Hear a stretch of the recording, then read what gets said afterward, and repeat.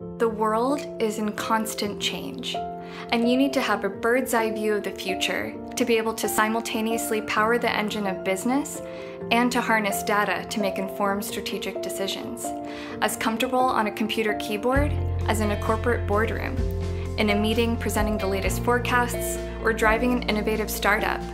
There is a certain kind of special individual who can straddle both business and data as comfortable with finance, management, and marketing as with data, statistical tools, or the latest technology, launching new products and services, or discovering data based customer insights.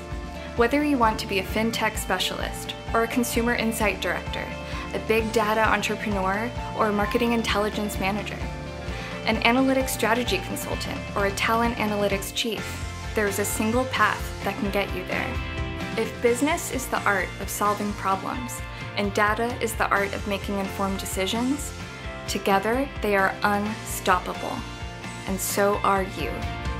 IE University, where parallel worlds unite.